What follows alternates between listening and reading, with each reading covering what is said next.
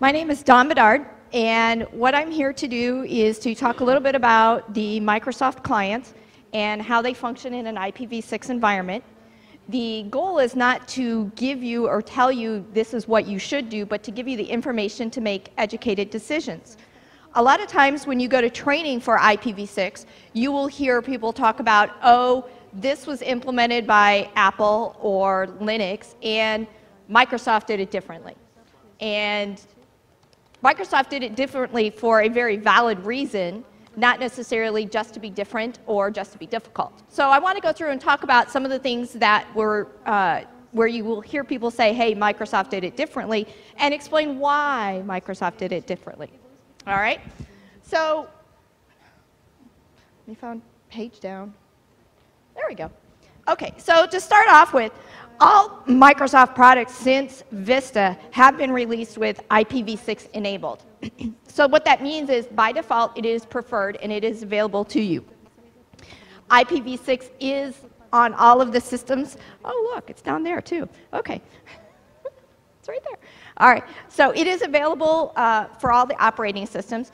If you are running something that is older than IPv6, we highly recommend that you upgrade. As most of you are aware, XP support was stopped in April, and one of the big reasons and motivations for upgrading your applications and your op operating system is to get the IPv6 uh, support that's available to you.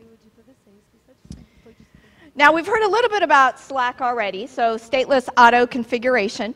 And what we want to talk about with SLAAC is uh, when you go look at your client, and um, you know this was brought up from a security aspect, you go look in and you look at, in my example, I have a DOS prompt, and I've done an ipconfig slash all, and if you look at it, you'll see that you have three addresses that are configured. You have an IPv6 address, which is, which is your SLAAC address. You have a temporary IPv6 address, which is kind of a Microsoft-centric thing. And you have your link local address. Now, how do you know that a client is going to configure itself for SLAAC? This has to do with what you have set up on your router advertisements and your A bit.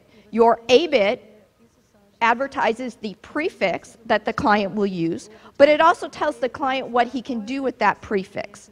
So is the client allowed to configure an address? or is he not going to configure an address? So this is important when you start setting up your network and setting up your environment.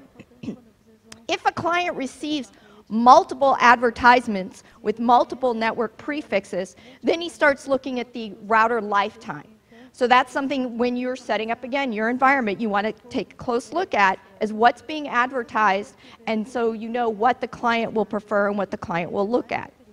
So again, when you're setting up SLAAC, the client knows that he is allowed to, at, to set up an address based on the A bit. What prefix he has will tell him what address he can set up and what he's supposed to do with it. Typically speaking, you might want to also set the O bit. The O bit is for other configuration. And these are things such as your DNS servers, your domains, the options that are available within IPv6. Okay, so let's go back to this temporary IPv6 address that Microsoft has set up. what is the temporary IPv6 address? Well, a temporary IPv6 address is randomly generated and it changes over time. Okay? It basically takes that public prefix that the client knows that he has and then he changes it. So why did Microsoft do it? Well, I think Chris did a really good good explanation for that. If you have your SLAAC address, it is based on the EUI 64. EUI 64 is based on your MAC address. That now makes it traceable. So from a security perspective, you may think, I don't want to be traced throughout the world as I hop around and I go to different websites, which you can if you use a standard one. So Microsoft has this created this temporary IP address that can be used. After a valid lifetime, which can be set up, you can now go out and it will change it again and it'll keep moving it around. Now be aware, with you when you have these three addresses, your SLAAC, your link local, and your temporary, all three will work on the network. All three of them are perfectly valid and can receive and send traffic. From a network traceability and a client traceability aspect of it, it makes it a little more difficult. So you may go back and you may say, okay, well, I have all these addresses. What do I do with it? I know. I am going to go to my managed DHCP or stateful DHCP. When you go to managed DHCP or stateful DHCP, what you're basically saying is, I'm going to take this client and I'm going to give him an IP address from a known DHCP server. The idea being I now have traceability. I can be able to follow this down to a identity and be able to track the person who's using this address. Well, when you go to set this up, you want to be careful because if you're not, you can end up with four addresses. So the whole plan of going to managed or stateful DHCP just went out the window because you went from having three addresses to now having four addresses. You will have a link local address, you will have a managed DHCP address, you will have a SLAAC address, and you will have your temporary address. So what you want to make sure of is when you decide, if you decide that you want to go to a managed DHCP, that you turn off the other elements. That means you need to turn off the A bit so you're not advertising a prefix. That means the client won't generate his own address. You want to make sure you turn on the M bit and turn on the O bit for the other DHCP options if you want to pass something other than just a prefix to the client.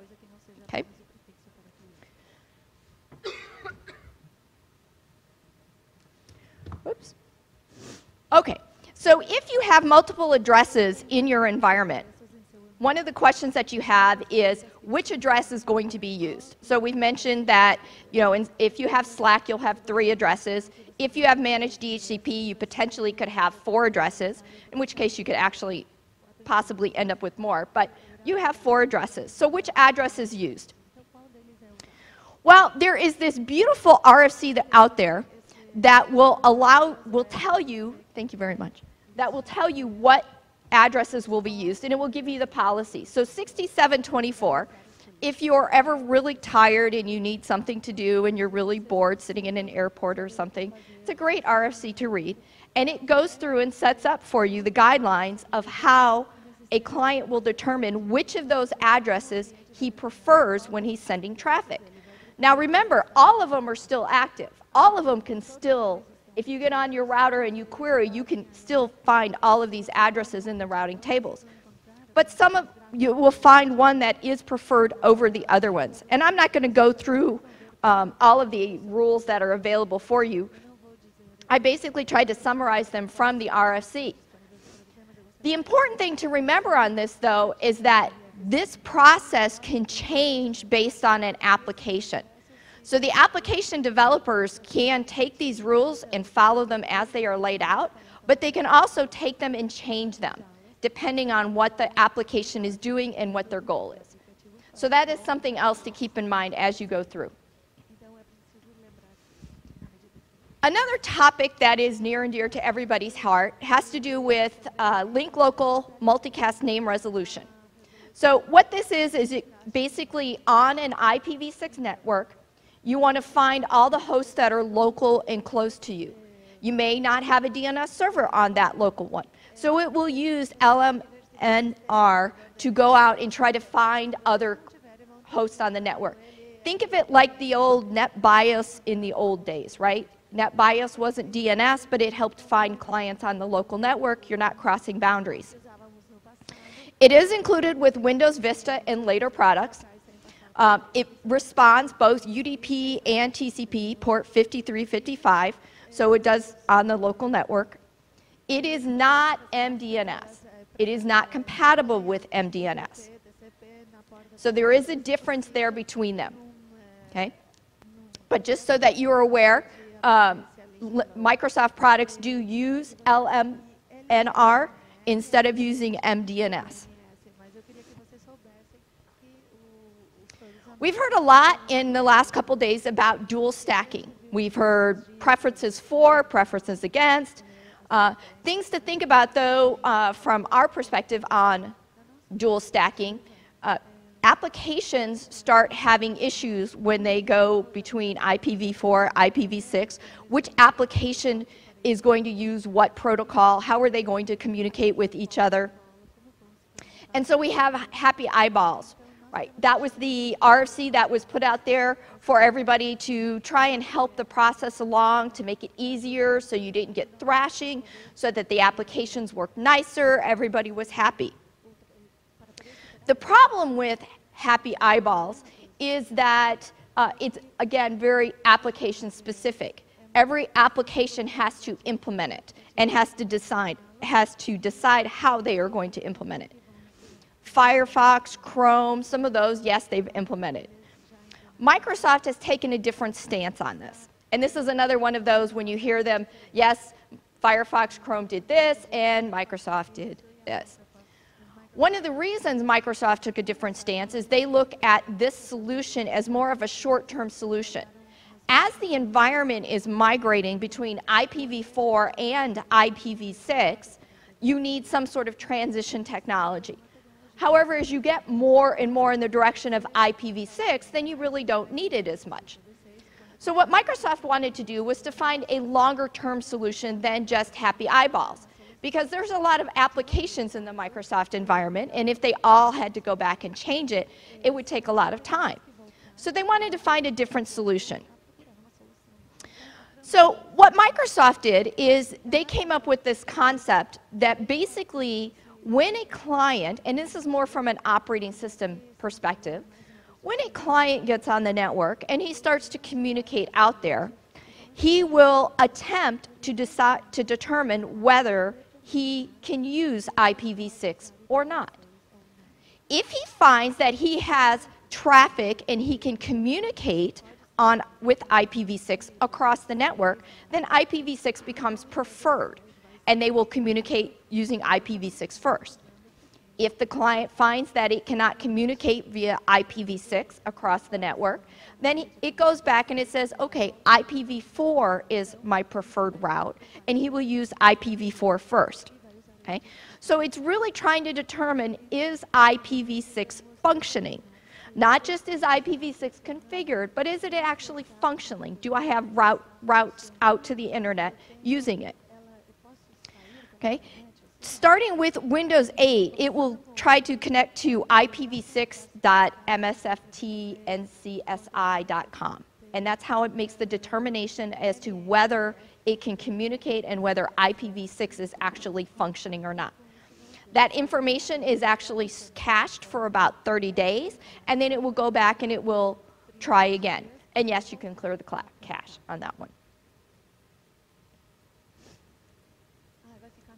Now, Teredo, we've talked a little bit about Teredo in other presentations. Teredo is a tunneling technology.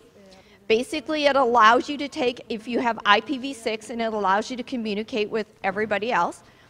Microsoft has included Teredo functionality uh, by default in a default configuration since Vista.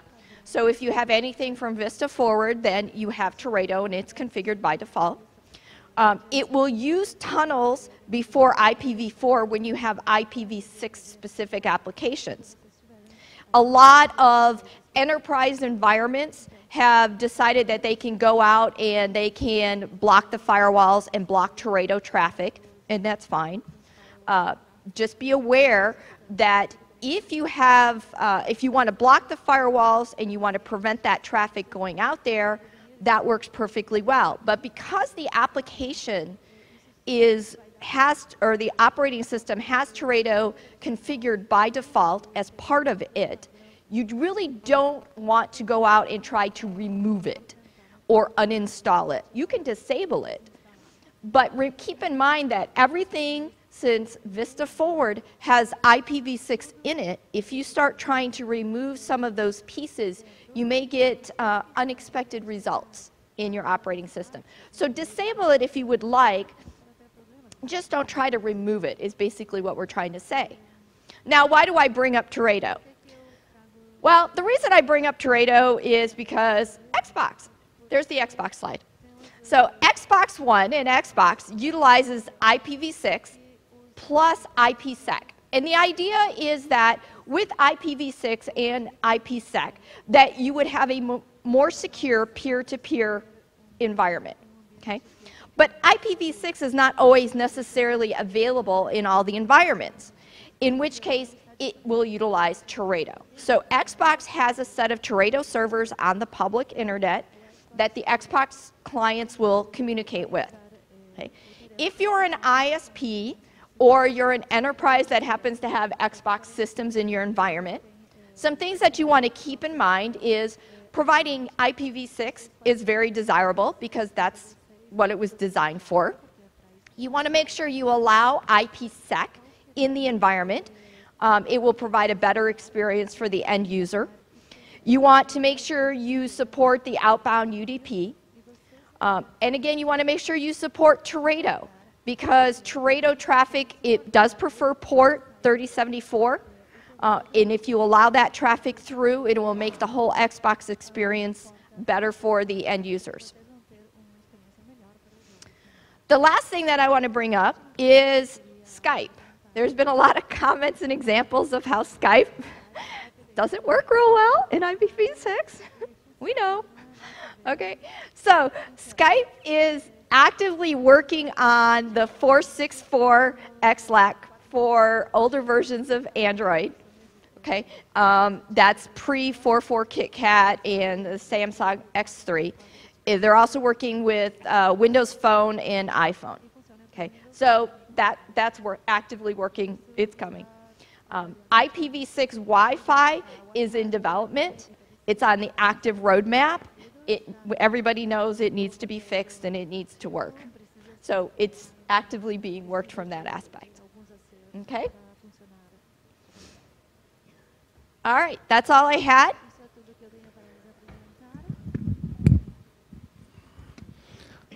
Hola. Eh, ¿Alguna pregunta para nuestra amiga Dawn, quien ha hecho uh, ex un excelente trabajo, a terrific job. Thank you so much for presenting this. In fact, I believe I learned a lot. I do have, I used to have so many doubts about how Windows handles IPv6. Uh, we have a question in line. Lee Howard, Time Warner Cable. Uh, thank you very much. Uh, always glad to see uh, how much support there is.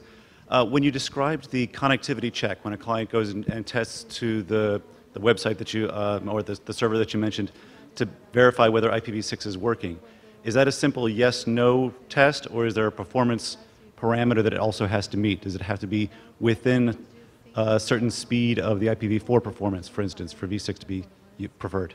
No, it doesn't do a performance test. Okay. Um, can I ask a follow-up question, which is, um, if I may, can you comment on uh, Microsoft's websites support? All of the sites. Comment in what way? Many of them used to support IPv6 and no longer do have Quad A's. When will we see IPv6 on Microsoft.com and updates.microsoft.com? That is actively being worked right now. Okay. Thank you.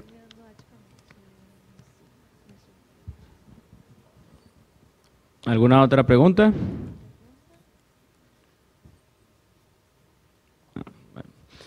Well, I, I do have, as usual, I always write, write something down just to, to prevent if the audience do not make questions. Um, well, at the beginning, in, in Microsoft and in most operating systems, you, you traditionally used E, EUI, EUI64 to auto-configure your IPv6 address. Uh, you said that now you are using a temporary address that I guess it is using some on Microsoft algorithm to get the IPv6 address. Can, if you if, if you remember, eh, when did you when you when did you start to use the your own algorithm to get the IPv6 address? since ever or maybe since Windows 8? I don't know. Effectively since Vista Forward. So when they started generating, um, when they started fully supporting IPv6? No. When, when did you start to use your own algorithm to auto-configure the IPv6 address and you are not using EIU any longer? EUI 64 is still used for SLAAC. That's not changed. The temporary address is Microsoft's algorithm. And it's a preferred address. That is the, Okay, I got it. You are still having both in, in the computer. yes, you still have both. Okay. ¿Alguna pregunta? ¿Alguien del público? Bueno, eh, una pregunta más en, en- en español. Eh, bueno, recuerdo que desde hace mucho tiempo ustedes tienen Teredo también habilitado por defecto dentro del sistema operativo. Hablando del mundo de Windows y no de Xbox. Hablando del mundo de, de Windows. Teredo ha, ido bajando, claro, ahora con Xbox no sé qué ocurre. Ex- eh, Teredo ha ido bajando lentamente en, en- en el uso mundialmente. ¿O ¿En algún momento han pensado, quizás la respuesta no, no exista ni siquiera, pero en algún momento han pensado en, de- en no usarlo más, en depreciarlo, en que no exista embedded en el sistema operativo? Yes. Ok. Eh, bueno, entonces, una pregunta del público, una presentación muy interesante que tuvimos. Bueno, en ese caso, agradezco una vez más a Dom. Genial la presentación, sumamente buena. Y bueno, la buena noticia también es que estamos libres para ir al break, así que disfruten eso.